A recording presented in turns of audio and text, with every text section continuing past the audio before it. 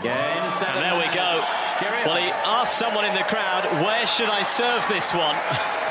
and clearly, that was the right answer. Nick Kyrgios joins the party this weekend.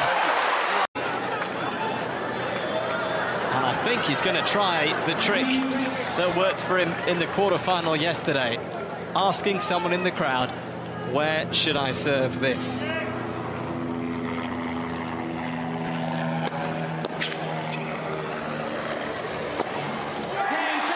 And that will do the trick. By two sets to one. He gets a high five. It worked again.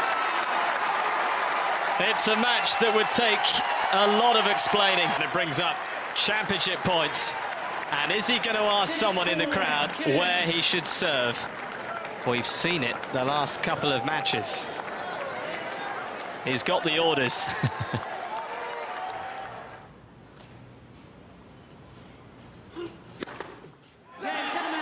there we go.